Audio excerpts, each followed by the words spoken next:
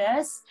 Uh, we're going to go ahead and get started. Good morning. Today is February 8th, 2023. Uh, welcome to the V3 implementation call.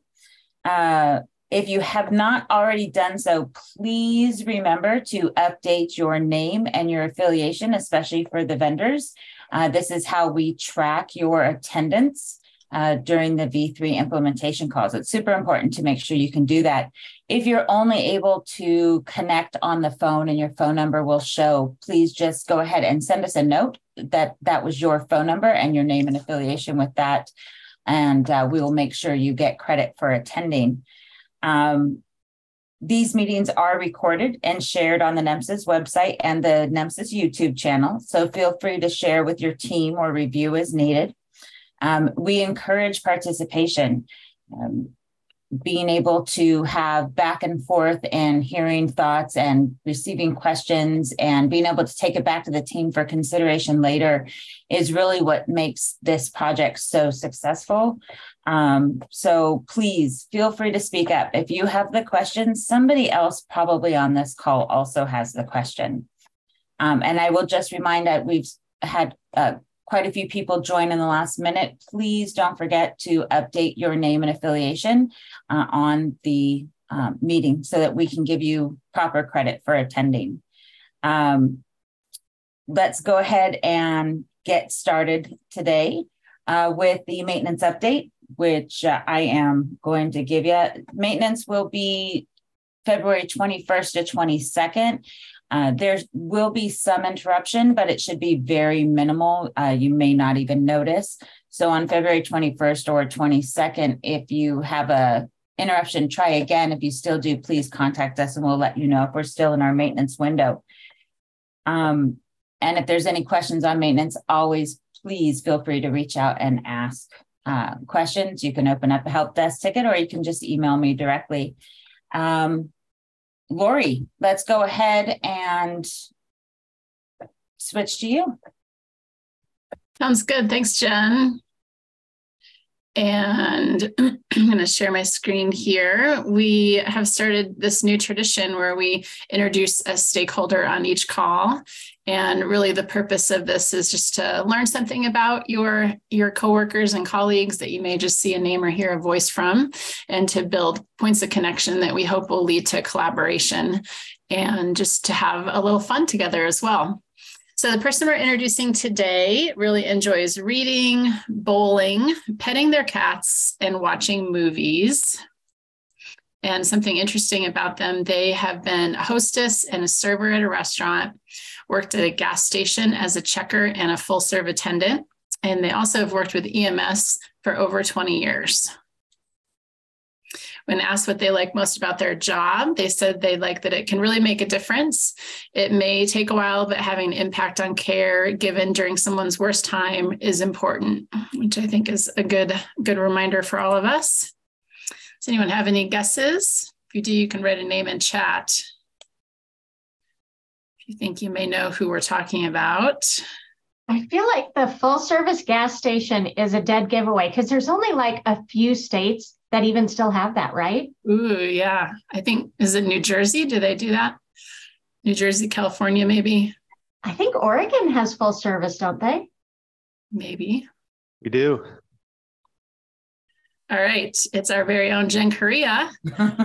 and Jen joined the TAC a little over a year. Guys, have been a year, Jen?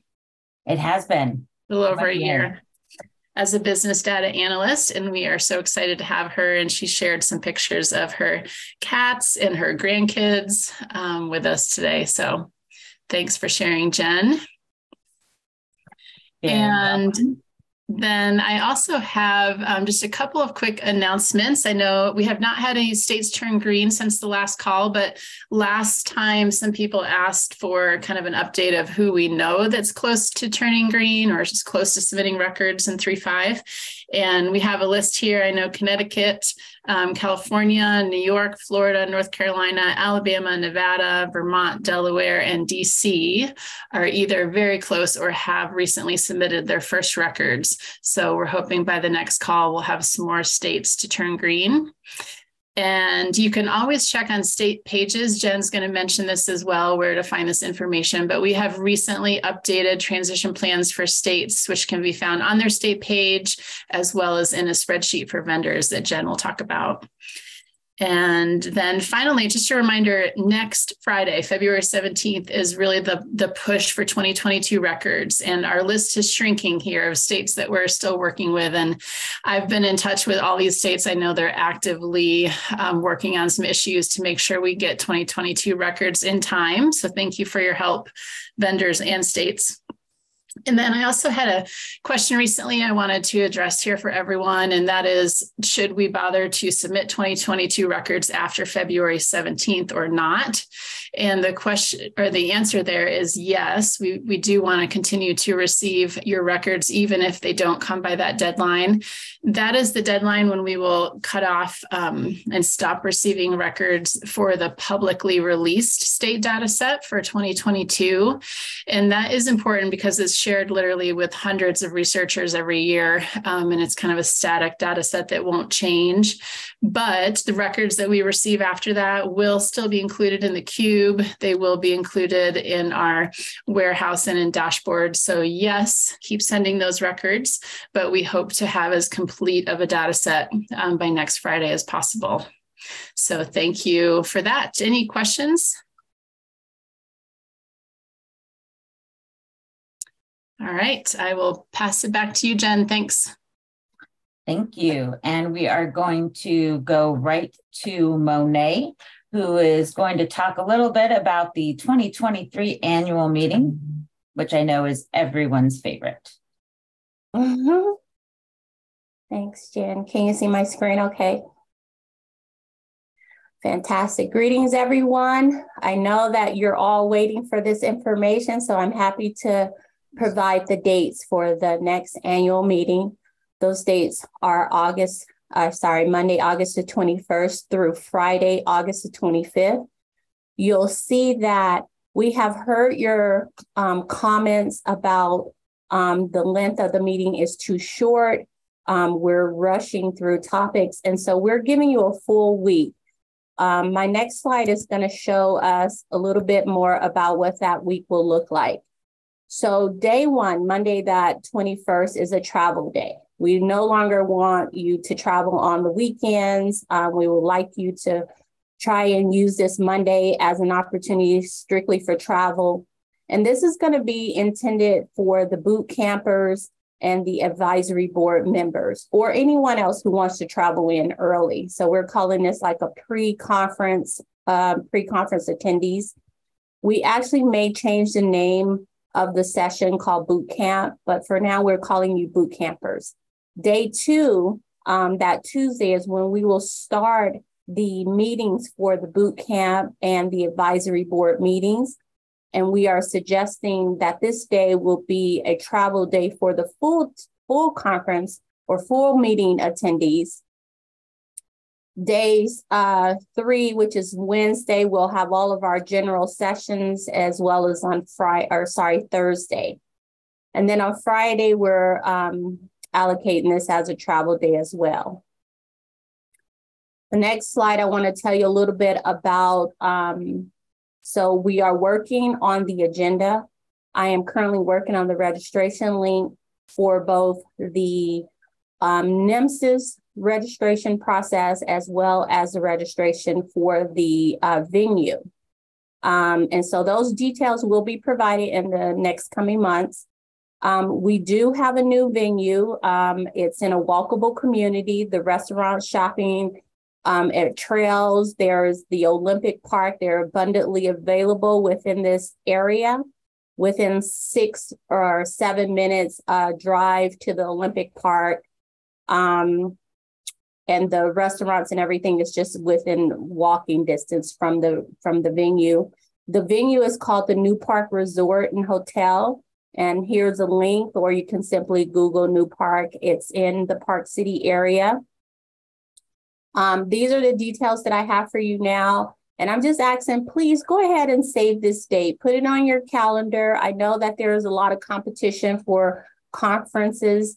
But this annual meeting, the NEMSIS meeting, if you really want to understand the NEMSIS standard, if you want to have those connections with your, um, with ATTAC, with our leadership at NHTSA, with um, your vendors, this is the best opportunity for um, engagement with um, the stakeholders and understanding the NEMSIS standard.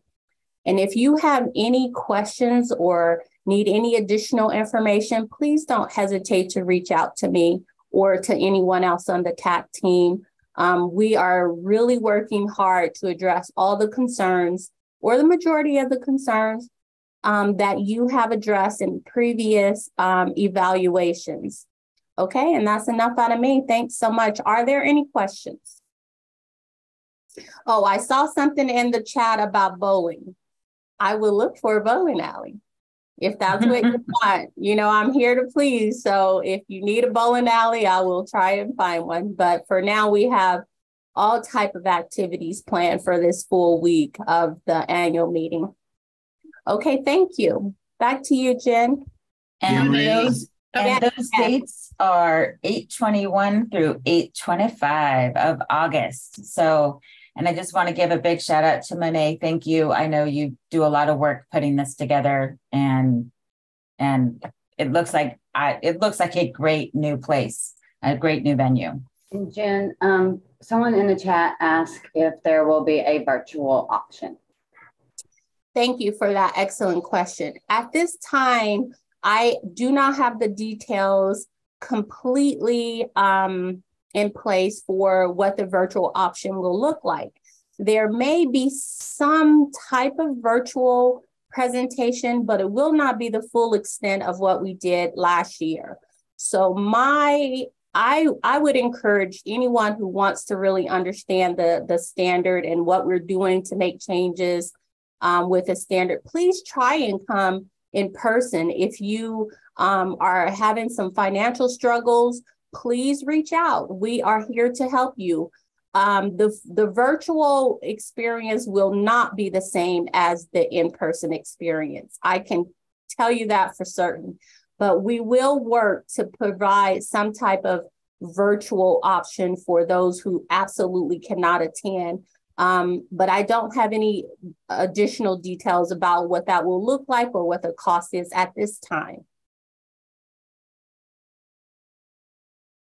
Yeah, Monet, and this is Clay. Maybe just had a couple of comments about the venue. So this is a really great venue. It's a fairly new hotel, and it's in um, uh, Kimball Junction. So you may remember if you've traveled up to our meetings before, uh, Kimball Junction was right off of the freeway before you made the turn to head into Park City. So the value of this venue change and kind of why we did it is for additional space uh, to ensure that we uh, could perhaps have a few more folks attending in person this time and, and having plenty of room to spread out. It's it, it's a much shorter commute from the airport. I don't know. It's probably 20 minutes um, uh, from the airport to the uh, to the hotel. And the Olympic Park is very close. So we'll be uh, planning on um, uh, there's mountain tubing. There's going to be some zip line options, and so we'll have we'll have some fun um, uh, some fun plans in place. So I think I think this will be easier to get to. It'll be a bigger venue, and the fact that um, grocery stores are walkable, lots of shopping, lots of, of restaurants are within a minute, right, of where you'll be. Um, a great area. I think this will be a great uh, new venue to try. Yep. Clay, Clay, you can keep ignoring the primary question, but that's the one in chat, which is what about bacon? well, yeah, that's going to be an issue. I don't know, Monet. Um, um, um, I will look in. for someone who's going to provide delicious bacon. Yeah, yeah, yeah. We're catering in, so we'll find a bacon specialist. Thank you for the questions. Thank you for the additional um, input as well, Clay. Thank you. All right, Jen, that's enough out of me. Thank you, everybody. Okay, so I am next up on the agenda, and I am going to share my screen. And um, one of the things that we are asked about uh, regularly is, oops, sorry. Um, is the different resources that are available on the uh, nemsis.org website and where things are found. Um, so we thought we'd real quick go through that as well again. One of the places people don't automatically think to look when they are not a vendor or, or developer is under the technical resources. But there are quite a few things that you might find helpful under the technical resources. Um, there are the defined lists. There are custom element library. The data dictionaries are under here. Guides and usage is under here. And this is a really great um, place to come and see the get information. Um, UUID questions, there's a guide right here that was written. Custom elements, how to develop them, checklist, flow chart, best practice guide. Um, we worked on those last year with all of your input. The vendors, um, every stakeholder uh, got to have some input on the on the guides that were developed. Pertinent negatives and not values. We always get questions when you're setting up schematron rules about how pertinent negatives work, how not values work. What are the different data sets? So those guides are now available. So there's a lot of information under the technical resources that's not just for technical folks. Um, the compliance uh, compliant software testing status. This is another page that a lot of state data managers might find useful um, is right here under technical resources, and you can click over. Um, also, one of the um, places that we have is under this using EMS data, V350 revision. And you've got a list of three five resources. We've talked about this um, quite a bit over the last year. Uh, one of the things to point out is that we had a slight name change here for version 350 elements summary. And this is the document that has the tabs of the V35 elements um, compared to 340, what's new in 350, what are state data set elements. Um, you can also find the value changes from 340 to 350. And we have added an additional tab now that has the new version 350 elements and what the new values within those dropdowns are. So you might find that useful.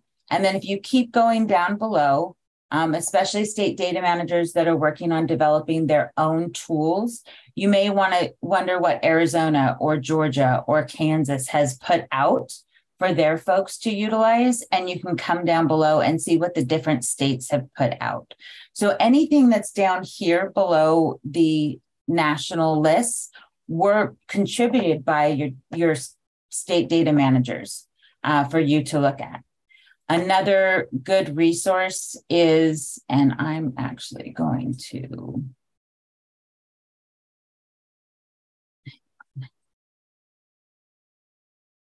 Sorry, when I have the Zoom thing at the top, I am not quite as good at navigating. So one of the things that we have um, done last month in January is sent out a survey to all the state data managers, and we have updated the state data pages down here on their implementation timelines. So anyone who responded, you'll notice that they have the last date that they responded and the information that goes along with it. Um, and also available is the state and vendor transition plan that has been updated. And as requested, a couple of new columns have been added. The last day that each of the states or territories will be accepting version 340. And then the last updated. So when we got an update um, from the state and when it was included here is also available. Um, for state data managers wondering what different vendors are doing, there is a tab here. Uh, anyone who's in compliance testing will be listed.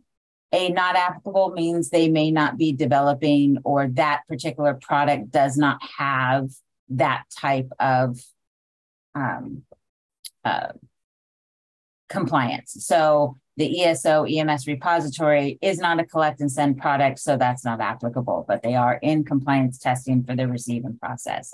So that's how to look. And of course, as always, you can go to the NEMSIS software compliance page that I just showed you and look for this as well. Are there any questions about resources or does anyone want to know where to find something or and I'm going to look at the chat chat really quick. Hey, Jen. Yes. This is uh, Amber in Colorado. Hey, Amber. Um, I just want to mention this has come up a few times and I think has caused confusion for for vendors. Um, and I think it's just semantics and the way we talk about um, transitioning to version 3.5. Um, so, for example, in Colorado, we still accept 3.4 records. However, all of our agencies are required to send 3.5 data as of January 1st this year. So I think this causes confusion because while we'll still accept 3.4, the requirement is actually 3.5. And I think it's it's just different the way that, you know, you all maybe talk about this transition and what we do in the state. So if they're still sending us 3.4 data, they're technically out of compliance with our state rules. Um, so I don't I don't know if there's like a better way to capture that or if other states have run into this. I'm just kind of putting it out there that it has caused some confusion as we try to communicate with vendors about our transition. Did that make any sense? So I know you guys are live with three five and you'll still accept three four, but you require your agencies to submit in 3.5? Yeah, so three five is the requirement, though we're not we're not turning away three four records. But if you're still sending us three four records, you're not compliant with with rules. And that would definitely probably be something that needs to to you know if there's any questions, reach out to your state data managers. I feel like there should be some clarity on this spreadsheet in that case, right? Like if we if we were to look at Colorado on the spreadsheet, um, there's a TBD date on the drop dead date for three four, right? Uh-huh. And we know that statutory, uh, that's not right. That's just technically how long they can they can keep it. They can accept it rather. Right. Yeah, exactly. I feel like maybe there's a column just because we talk about it in different ways. Like we don't talk about the last day to accept. We talk about here's when you need to transition by. So, you know, like the 3 5 transition time frame is like, oh, when we're going to be ready to start accepting it. Um, but maybe it's like a drop dead must transition by date or something. Again, I'm not sure other states have run into this, but I just wanted to share. I think it does lend itself to some confusion in these conversations. And I think that's where the communication with the between the vendors and the and the different states is is going to be key. Um, it would be pretty hard to track every nuance that's included for each of the different states on a spreadsheet. I mean, so I definitely think that's something that um, what we tried to do here on, with this column was ask the different state data managers, like, when are you cutting off 3 4? When are you no longer going to take that record? And that's what's in the column here. Yeah, but we may never do that. And that, again, that's what's that's not what's important in our like regulatory lens. It's also not that important for us and our customers respectfully like we don't care when it's when when she's going to stop taking it. Um, we care most when um, the organizations are required to move. I mean can we just add a column? I can take that back to the team and we can talk about it. Um, so we will we'll get back to you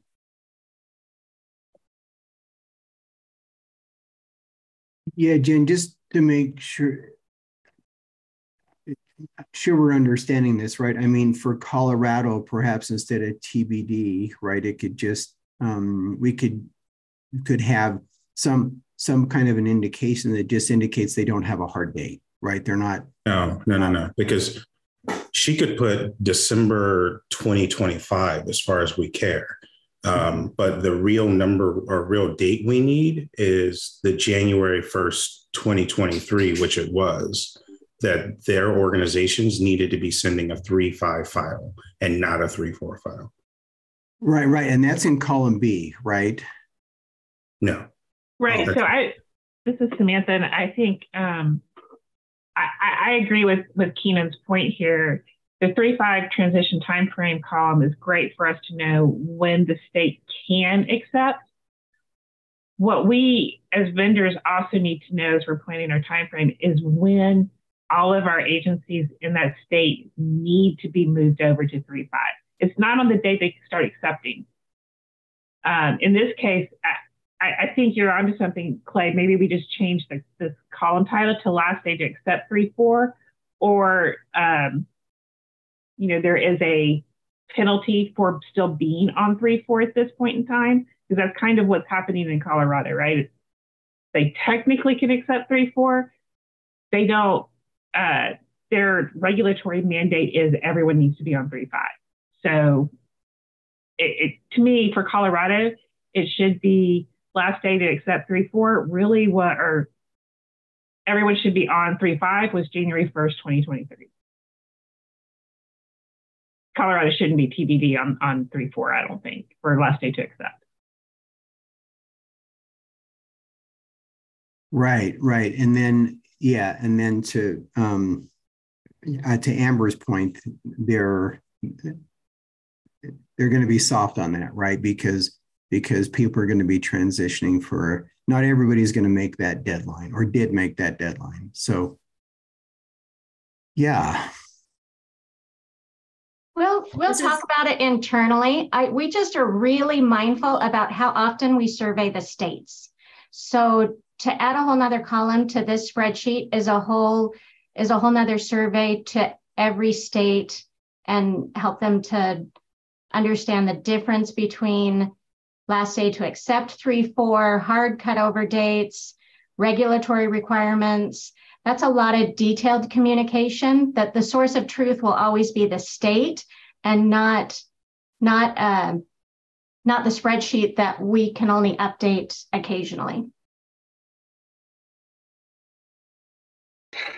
Yeah, and maybe maybe I could just ask use this venue really quickly to ask the vendors. Maybe I could just answer the last day to accept 3 4 differently and maybe what I should be answering there is 12 31 2022 um, because that that was the last time it was acceptable to send us 3 4 now i'm not turning away 3 4 records but maybe that's a more clear way to communicate um, with the vendors on the call that that is that that switch over date. Would that help? I, I think that would help us for sure because um, we look at that date to determine, you know, where in the range we can schedule this so that we are um, giving the providers the right amount of time as well as our implementation team the right amount of time to to do this if we have a whole bunch of states going at the same time. So I, I would prefer that personally. Okay, hindsight is 2020, but other states can learn from my mistakes. Are there any other state data managers that are on the call that that uh, have the same type of questions or or want to ask the vendors the same same type of thing that Amber just did? Um, this is Anne in Arizona. uh, I have kind of a similar question. I put in the chat too, like I totally get what Amber's saying. And like, for example, our drop dead date for switching to 3.5 is before July 1st, 2023. Is everyone going to make it? I don't know. Um, and then we have to decide what are we going to do? We can still take records.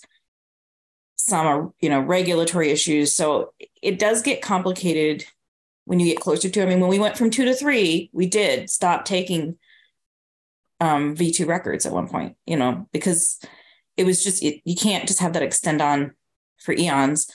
But um, but I get what Keenan's saying too, or at least like what I think he's saying is kind of like if we're telling the agencies they need to transition by a date, that's what those agencies are going to be anticipating. That's what they're going to be telling their vendor. And they're not really, if they see that date, that's the date they're going to want their vendor to have the ability to move them over before. And that would probably be their customer's expectation. So maybe that's why that matters. And I just said, you know, if you want to put like an asterisk or something, I don't know if it would be at the top of the column, like just next to it, but kind of like, you know, there, there probably are for most states some sort of um, long longer explanation that we can't put here and everybody has slightly different things that would happen if you don't i know in our state we've gotten questions and it's not a short answer like kind of like contact you know link it to the state so that they can contact the state data manager with questions um, I think this is one of the reasons we are so hesitant to add this column to this spreadsheet in the first place. Um, was this very thing. It's really hard to define with each state having different parameters set on how they're going to end accepting three, four, when they're going to accept. Is it soft? Is it hard? Is it this? It, and so to have the column here that looks like it's a hard date it, that's why we always refer the vendors the the agencies that contact us please communicate with your state data managers because every state is different. And and it really is hard to to put the asterisk because the asterisk is going to mean something different for everybody. And i was just going to ask you but i saw at the bottom you have another tab because my thing too is i need to know for the software vendors not only are when but when are they ready ready not compliant necessarily. That's obviously important, but there's, I mean, I, this is not a, I'm not trying to be negative, just there's usually a difference between compliance and a, a product that the agencies are pretty happy with using uh, with all the features that they, whatever, they feel like their customers would want to have before they move over. At least we found that out when we moved from two to three with uh, a lot of agencies were like, yeah, I could move, but not then I'd have to kind of go back in time and not be able to do all the things I want to be able to. So that would be something too, is it's not just when they're compliant, because I do watch that, but when are they ready to really like they're like, okay, yep, we got this. It's it's field ready. It's not something where there's going to be this implosion potentially. Um, and also are they really are they ready to roll it out? Like are they uh, I keep going back to Zoll because Keenan was talking before, but kind of like, you know, if, if Zoll had to roll it out in our state by um, March, I'm not moving the date. Like, uh, can they, or, you know, do we need to have like a sidebar conversation? I guess I could contact everybody all the time, but then all the states might end up contacting the vendors all the time. And it is nice to have one central bit of information in one place. So one thing I would I would throw in about that is, in addition to being you know field ready and billing ready and reporting ready and documentation ready, um, is are we also do we have everything we need for all the custom elements and are they also included? So it's kind of hard to um, quantify that because it's going to change for each state um, as a vendor that was that was also going to be my answer. Um, yeah. Thanks, thanks, Anne. Um, is we we have to triage, right? We have to triage which states go when, um, and which customers go when, and we have to spread that across the fifty plus uh, states and territories and the thousands of customers. So um, as we do that, uh, we look at the time. We also look at the weight and um, uh, level of effort for the specific custom elements for that state. Because I just remember, sorry, this is Anne again, with version two. So I always go back to that because that was a pretty big change. It was bigger than this change, but it's the closest thing I have to liken it to. Um, I think I, I won't say which vendor, but I thought it was a really valid point when I was asking why they couldn't have their, you know, agencies moved over and they said, hey, you know, we have to prioritize the states where it is in rule required, could affect their license. We have to prioritize those agencies in our timeline, especially if the timeline is compressed over states that set a deadline, but there isn't any, I don't say any teeth to it. but it makes sense. I mean, if one agency is going to lose their license in, I don't know, Nebraska, I'm making that up. I don't know how their rules work. And they're not going to in Arizona and they don't have the capacity to do implementation for everybody at the same time. Um, that's what happened with version two and to three. And I would think that that could happen in any version change. Um, and that's kind of what I mean. I mean, I know that's like a probably more in depth than this table would be, but that really matters. I need to know, like, I tell my agencies, I don't know if they listen, but I say, call your vendor now. Like I said in October, get a hold of them now. Find out if there's like you have to get in line or what the process is, get your dates down. But I'm sure that most of them don't. And that's what really matters is if I'm pushing the agencies to make a date and they can't make it because their vendor cannot accommodate them. Once again, no criticism. Uh, I'm going to have a, some irritated stakeholders that are then going to be kind of vocal. And that's the kind of thing I would like to avoid. I'd like to know and just have that relationship with the vendor and not have to basically have agencies call my bureau chief. Does that make sense? I think it makes perfect sense.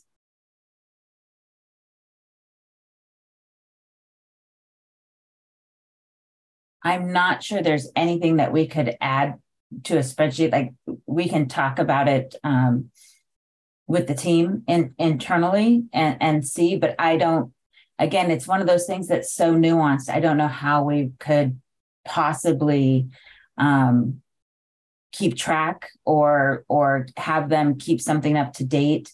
Um, it it would be it would be quite the rock to push up the mountain and i don't know how we do it and make sure that you know we're not in any way impeding the vendor's relationship with their customers. That, that that's also a, a piece of it.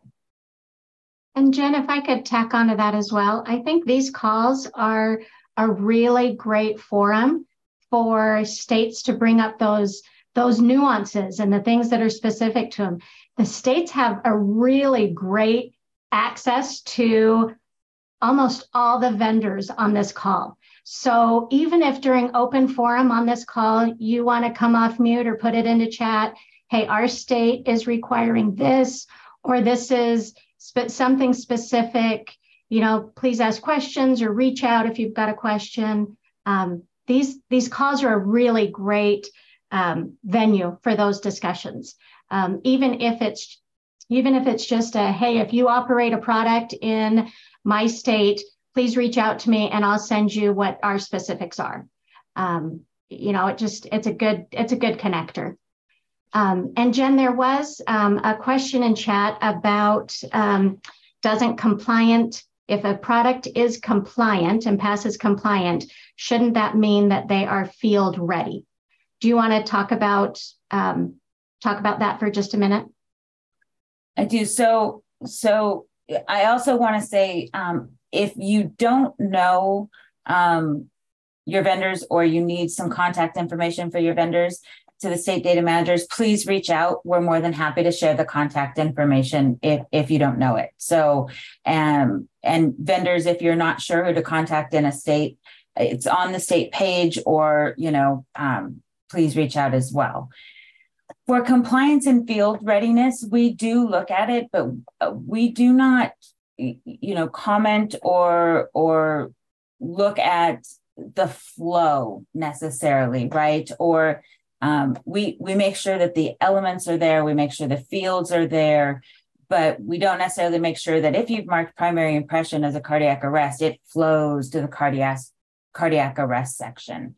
And I know that has a lot to do with the field readiness. Um, during compliance, the custom elements that they are tested on are national custom elements at this time. So each state having their own custom elements, that's not, we don't look state by state to make sure that they have all the different states' custom elements. Um, so that's a, a, part that that we don't um, look at on the compliance specific to a state um, they it has to be able to collect everything. It has to be able to send everything to the receive and process vendor. And receive and process vendors have to be able to send it to the NEMSIS tech. Um, and but very very specific as far as the look of a product or the flow of a product we don't we don't test that. And, and we wouldn't be able to because then it would be scoring the different software products and, and we don't do that. Did that answer the question or um, did I miss the mark? No, that answered the question. It, she she just said that the the software was going to blow up, and if it's going to blow up, I didn't I didn't think that would be compliant. Oh yes, yeah, no. um, did I miss any other questions, Julianne? It's hard to track the chat, and so I apologize if I've missed anything. Um, I believe Josh, are you on with us today? Yes, I am. Fantastic. So I'm going to stop sharing if you need to share your screen. Yeah, um, sounds good. Josh is going to give us a update on the interoperability. Great. Let me get my screen sharing going here. Um, I'm going to throw this uh, up on the screen to share, which I will get to in just a minute. Um, but uh, that'll give you a chance to be checking out those dates and jotting them down for upcoming uh, task force meetings for interoperability. Um, so, uh, as you probably know, we've been working with integrating the healthcare enterprise or IHE USA uh, over the past uh, seven months or so um, to uh, improve interoperability of data between EMS and the rest of healthcare. IHE hosted uh, a part of one of their digital series uh, events uh, a couple weeks ago in January, and that included a live uh, listening session one morning that was about 90 minutes long. That had some great discussion. Um, John Moehrke from IHE uh, gave an overview of the document sharing infrastructure, kind of how documents get shared um, between different healthcare data systems, uh, what the standards are that are used for those um, interactions. Uh, talked about the consolidated clinical document architecture or CCDA, which is um, in HL7 version 3. It's an XML based uh, standard. Um, so that a lot of documents are in that format. Uh, also newer to the scene is the International Patient Summary, which uh, has been designed for HL7 FHIR architectures. Um, so th there was some discussion around those things. And then lots of uh, just back and forth discussion and questions and things from those who were uh, in that listening session that really um, uh, hit on um, all of the topics that we have identified that we need to work on uh, in EMS interoperability. and so um, we're going to be working through those topics uh, kind of it, you know one at a time we're going to chew through them um, the I, would say one the, the issue we've had in this project is um, getting the enough advanced planning so that we can get dates out to all of you that you could actually get on your calendars more than a week in advance. And um, so we're trying to solve that issue by putting on dates for the rest of this calendar year for the EMS Interoperability Task Force. These will be in addition to the other things that are going on, like the IHE Connectathon or the uh, um, Interoperability Showcase at the HIMSS conference in April, or the IHE Digital Series events. These will be a monthly task force meeting where we're working on some stuff uh, so there will be some information sharing and presentations from experts, but then lots of time for discussion and kind of uh, really chewing on it and saying, okay, you know, how do we make this apply to EMS? How do we make it work in the EMS environment? So that's what we're going to be doing through this task force. Um, we've I've listed the dates here on this flyer that I'm sharing, and this flyer is going to go out uh, to the NEMSIS Google group um, today after this call. Uh, so monthly meeting uh, on the second Thursday of each month, except that uh, in February, it'll be on February 16th, which is next Thursday, uh, from 11 a.m. to 12.30 p.m. Mountain Time. And um, the first topic that we're going to cover in the February meeting is identifying data exchange partners and establishing relationships.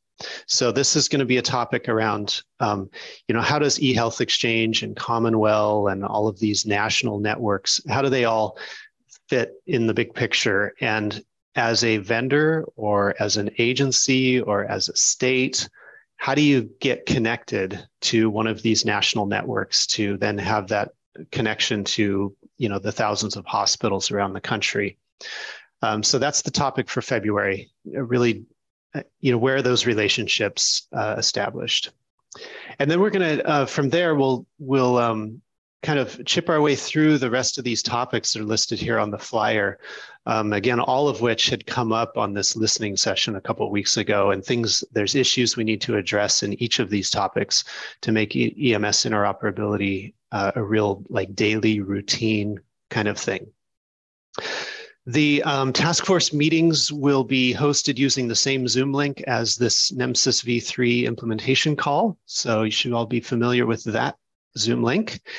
And we're going to start up um, a Google group for email communications specific to this task force so that we don't uh, overwhelm the general NEMSIS Google group. So if you are interested in keeping track of what we're doing with the interoperability efforts, then uh, I encourage you to uh, uh get your email address listed onto that uh, Google group so that you can um, get the updates that we send out. So in a second, I will uh, post the, the link for that um, in the chat on this call. Um, but look forward to seeing many of you on February 16th to talk about this, um, these national networks and, and how you um, can get connected with them. Uh, any questions on what we're doing with interoperability?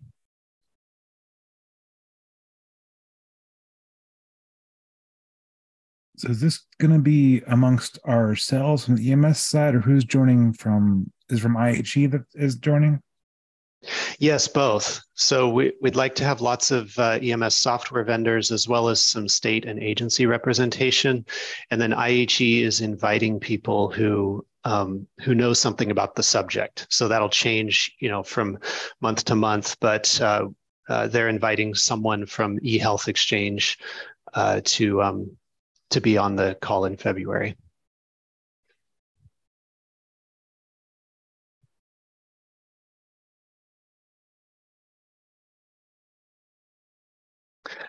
Okay, thanks everyone.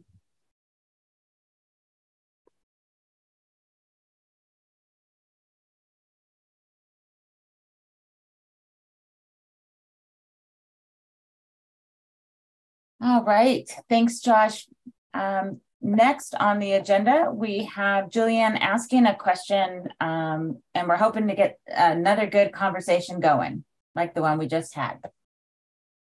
Thank you, Jen. Um, and I don't have anything to share. It really just is um, a question to put, to put to put to this group, as you are um, our state and vendor subject matter experts. We had a request from one of our state data managers come into the TAC to ask if we were aware of any um, states or areas uh, that have had successful uh, connection with the UUID associated with 3.5 records in connecting with their hospitals for trauma registry products. Um, I know there we have several states that are collecting 3.5 records. Um, so many agencies have transitioned to 3.5 the 3-5 standard, but we wanted to put it out to this group. If any of you are willing to share um, your experience in connecting with your hospital um, or your trauma registry products in utilizing the UUID for that uh, connection. Um, if you have an experience or if you're you're trying to you know you're you're making progress in that arena we'd love for you to share um, best practices or yep we're it it's working we're doing it it's you know um, any any feedback that you might have to share with the states on how to facilitate uh, great linkage with those um, trauma registry products at the hospital with the UUID. Feel free to come off mute or to um, put it in the chat we just, and we'll probably ask this a few times throughout the year as um, more and more states and agencies are implementing 3.5 and um, utilizing that UUID um, component of 3.5.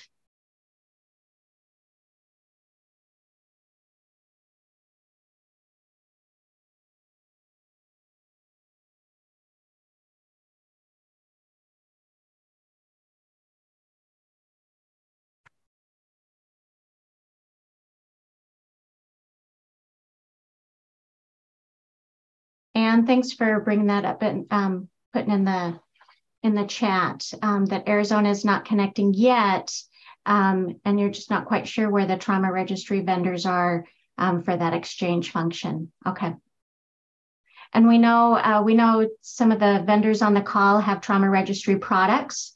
Um, so you're welcome to um, you're welcome to chime in if you have anything that you want to share with the states on how to best facilitate those connections. Jay, thanks for putting in the chat. The UUID is flowing from pre-hospital to our trauma registry. However, the users do not see this, but it does submit to the NTDB.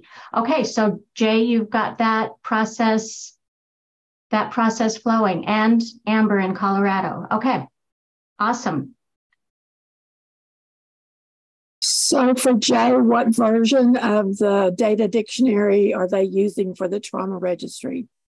Is it 2023?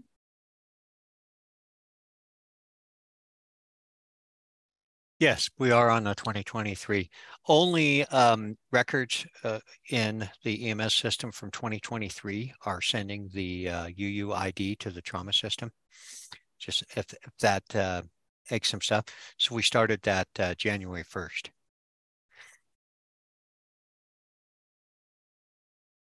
Is that only direct data entry records, or is that also records that are imported? Because that may be a difference too. To my knowledge, it will create a UUID on import. I'm going to have to test. I got a couple stragglers uh, on those imports, and uh, I'll have to double check on that. part of the reason why I can't check on that is they are behind and not in compliance with submission of their data. So Do you hard need to a check stick? when they're behind. Do, do you need a stick, Jay? well, I was gonna think some like peanut butter fudge or maybe bacon. I don't. I'm out of carrots. If you need a stick, I'll send you one.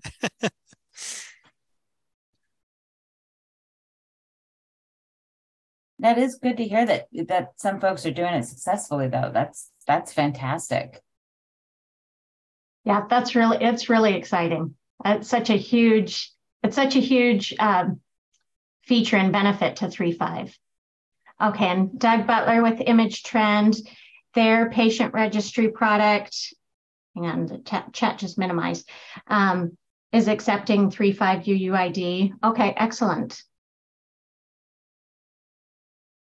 Did anyone else have anything to add before we move to the next item? Thanks, you guys. And as you have experiences of success or struggle, please feel free to reach out to the TAC. We'd love to be able to highlight best practices or I wish I had done this, um, you know, with other state data managers that that are trying to, to make those connections as well. So we encourage you to share your success and your struggles so everyone can learn together. Thank you, everyone. Absolutely. Best practices are one of the good things that that come out once things get started so that those coming after don't have to do all the pitfalls or or hardships that uh, you had to in the beginning. So, all right, the next item, uh, are there any items from the Office of EMS? Mr. Eric Chaney. Hey, good afternoon, all. I have just one, actually a request. I'm looking for anyone who is collecting specific data on telemedicine, maybe above and beyond the existing um, NEMSIS data set or a community paramedicine program. Um, if you're doing that, and you're you're willing to share some of the experience. I I would be very happy to listen. We've been asked to put together some information for a telemedicine uh, presentation that'll go to HHS, and basically, I'm just looking for some some background support uh, for existing efforts. Other than that, I have nothing specific uh, for nothing specific for the group this morning. Unless you have questions for me, I'm happy to address them. Hey, Eric, Lance Iverson from South Dakota put into the chat that South Dakota has a statewide telemedicine program free to all our ambulance services that started about a month ago. I just saw that. Excellent. I may reach out for some some additional information, and uh, I see the one. Thank you, AVEL.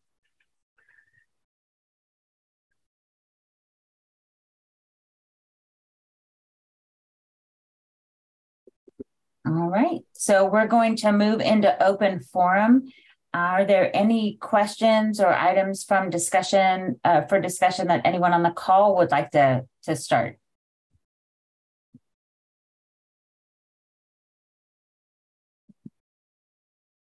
I have kind of an awkward one. Uh, so we're we got the documents for Illinois for Schematron 3.5, but it doesn't work. And Dan Lee is still listed as the data manager, even though he's left. And we're not sure who to talk to about the problems with the Schematron. So maybe it's open to, um, you know, if ImageTrend provides support on the Schematron at that point, and that he there's a message on his saying to call the the call a phone number, but that's the phone number for the EMT licensing line, and they don't have any idea what I'm talking about. So I'm like, okay.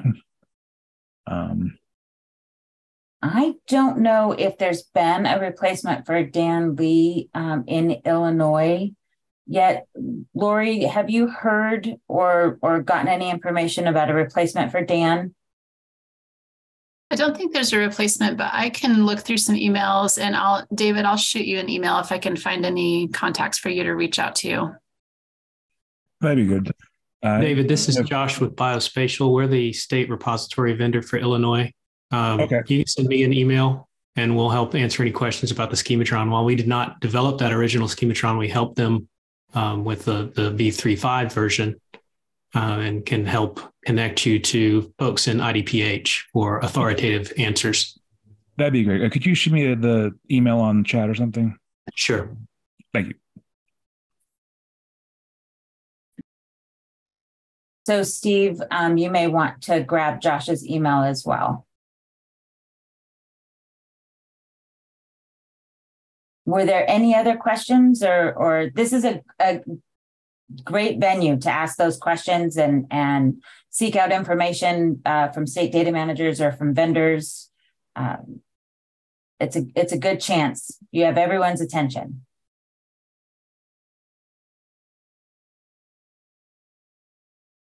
So I have a problem here in Indiana.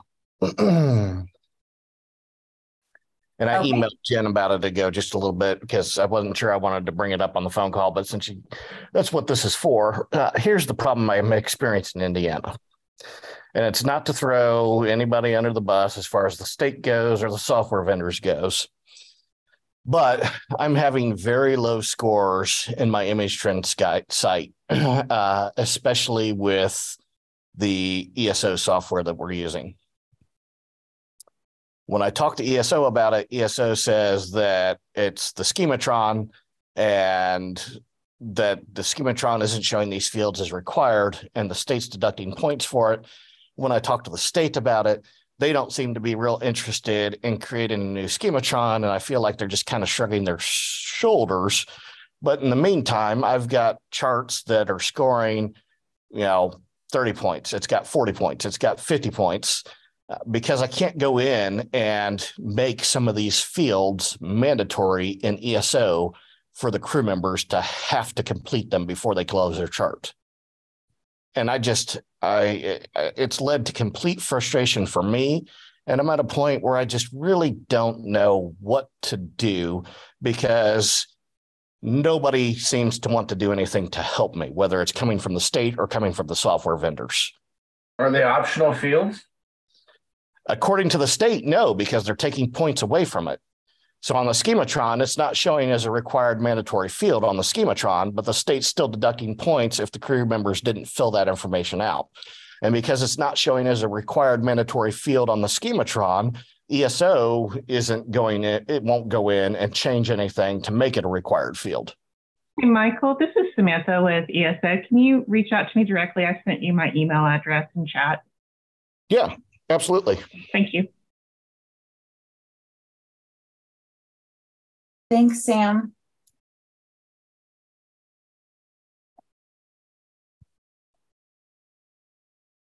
Did anyone else have any other questions or we can um, is Lauren Mazzol. I was wondering what other people's plans were with the state of Illinois because before Dan left, it was encouraging all of the customers to get on. So some are anxious to do so, um, but without having the contact in place or having issues with the schematron, I'm pretty hesitant to do it on this side. So I'd like to see what other people are doing in regards to Illinois 3.5.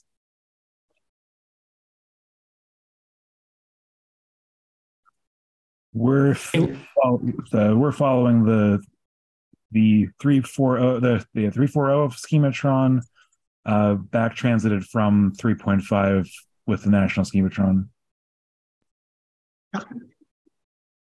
Thank you. This is Anne in Arizona. um, I have a question um, regarding compliance. So, partly because we are also accepting 3.5, I was keeping a closer eye on the compliance list than I normally maybe would. I checked it more often. Um, and I'm trying to keep track of my agencies who's on 3.4, who's on 3.5, you know, all of that kind of as a big timeline.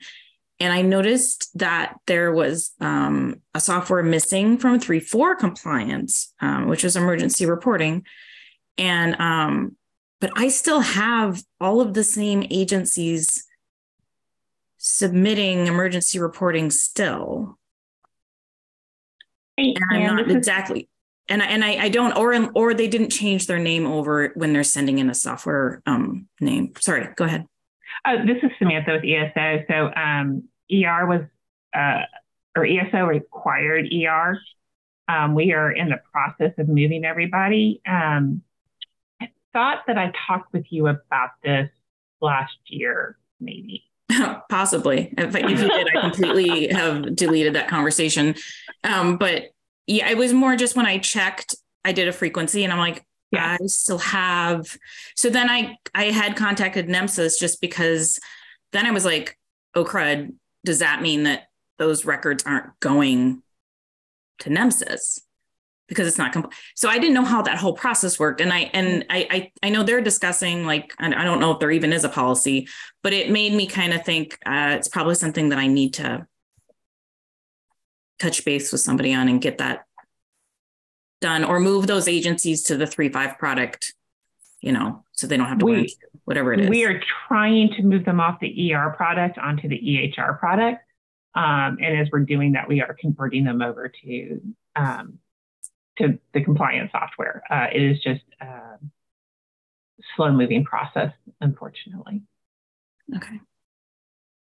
Um, but I, I, can reach out to you and give you more information about our, our plans and timelines and um, get you in touch with the right people if you'd like.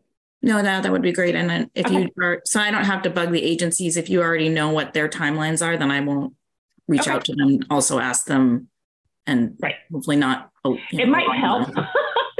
help move the process along. Really? Okay. Because I was like, I didn't want to alarm them where they think there's a, I just, it's yeah. not really something that we would normally continue to.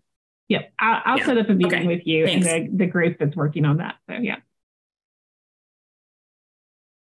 Thanks again, Sam. All right. I think that was great discussion. Um, if there's anything else, Jen, just one quick alibi. Um, you know, this is the kind of discussion that I, I really appreciate having here.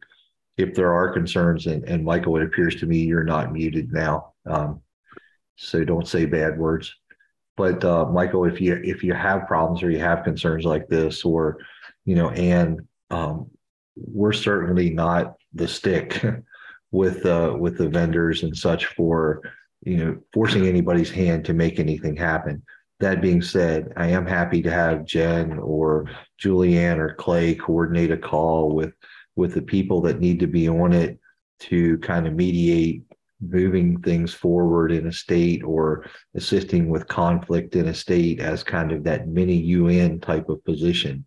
Um, so if if that becomes an issue, please don't let it fester. Please don't let it become a big issue. We're happy to to pull in everybody and, and kind of mediate for you. So just keep that in mind as you move forward. Thank you, Eric.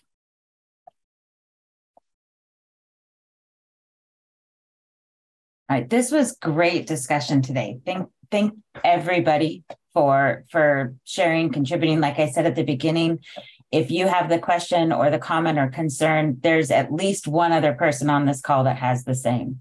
So this was great. Um, please know that our next upcoming meeting is February 22nd, same time, same place. We will send out the agenda prior to the meeting.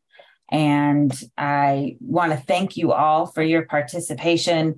Um, we all know that you're extreme, everyone is extremely busy. And so taking this time out to have these calls um, is important and, and valuable. Uh, thank you very much.